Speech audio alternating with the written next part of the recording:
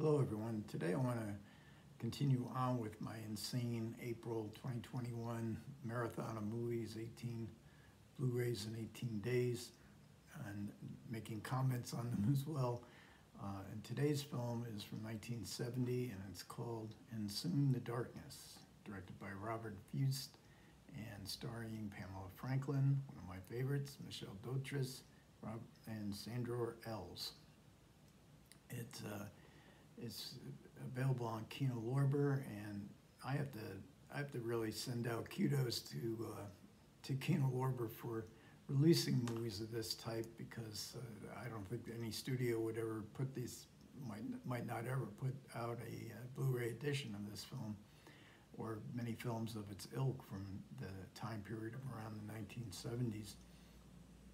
And there were so many, these films, and I was a movie fanatic in 1970, and these, these movies, uh, I saw them all, uh, but I think they mean more to me now than they did in 1970. They, they sort of transcend, you know, a kind of critique, and they, there's so much reflection of their times. Uh, uh, Soon the Darkness is really a uh, very suspenseful, and uh, it's, it's an interesting film in many different facets. And um, it was directed by Robert Fuest, uh, who is probably most famous for uh, the abominable Dr. Phibes that came a few years later. It was produced, written by Brian Clemens, Fuest and Clemens. Uh, Fuest directed, Clemens wrote many of the uh, uh, episodes of the Avengers. Avengers was all over. Bryan Forbes was at EMI and starting a new British uh, film production company and this was the first film of that of that company. Um, it, Pamela Franklin and uh, Michele Dotrice play nurses who, uh, British nurses who, from Nottingham, they come to France on their vacation. They're, they're cycling across uh, France, uh, the, the back roads, the rural countryside.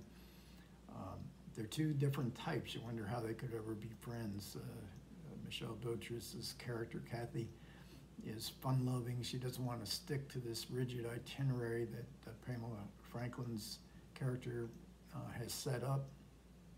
They have an argument in the woods uh, alongside the road, and, uh, and in this argument, Pamela Franklin takes off on her bike and uh, leaves leaves her uh, friend behind, but then goes back, goes to a cafe, gets a drink, and then cycles back to make up and find her friend, and she's gone missing.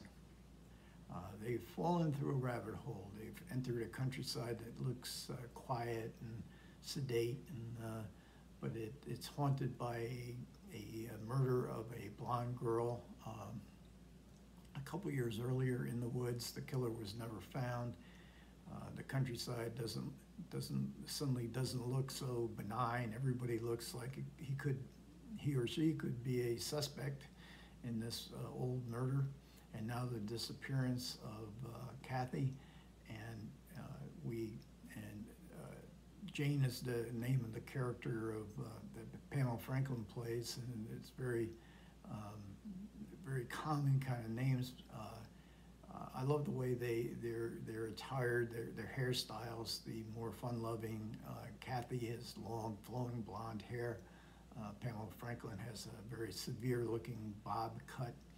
But of course, in these kind of films, uh, that type of character, the character that Pamela Franklin is playing, is, is, the, is probably going to be the more resourceful uh, character. She's not as complacent. She's, she's uh, got her head on straight. She looks uh, uh, as if she's up to the task to try to find her, what happened to her friend.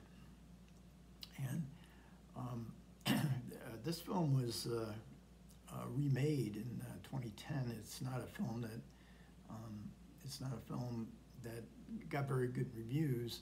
Uh, this uh, And Soon the Darkness didn't get very good reviews either. It, it, did fairly well, I think, at the box office. But the remake, from what I read about the remake, I don't, I don't think I'm ever going to check it out. At least not anytime soon Of course, Pamela Franklin is, is a favorite of mine, and, and she gets a real chance to, to shine here. She had these big, wide, very intelligent looking eyes, always looking around, uh, trying to read the signs of, on, the- on the people, the, the other characters in the film that, that I say all seem, you know, they're all presented as rather dodgy characters. Can she trust them? Can she not?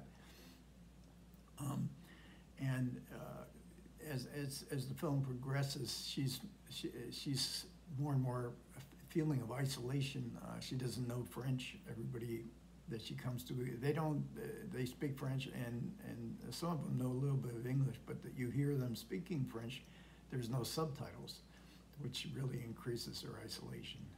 Uh, there's a couple of very good uh, suspense, suspenseful moments in the woods and then in a trailer park, uh, abandoned and seedy and broken down trailer park where the uh, climax of the movie uh, occurs. So again, in Soon the Dark, this is one I would really recommend. To, I don't know, it has, it has, uh, it, it, it's a beautiful restoration. I don't know who did the restoration, but on my 65-inch television screen, it looked, you know, sitting eight feet away. This looked like you you were sitting in a movie theater, and this is how it looked in movies in 1970, 50 years ago. It's a miracle to me. Uh, I'll never take any of this kind of stuff for granted. Uh, so, um, uh, again, a recommendation for uh, a shout out of uh, congratulations to Kino Lorber. Thank you for bringing out this film. And I hope if you do get it, you enjoyed it as much as I did. Um, if you have any uh, comments on the movie, you've seen it before, uh, I would very much enjoy reading those comments and responding, subscribes, likes, all that kind of good stuff. For anybody who stuck with me to the end of this video, as always, I'm, it's much, much appreciated, and I will catch you guys next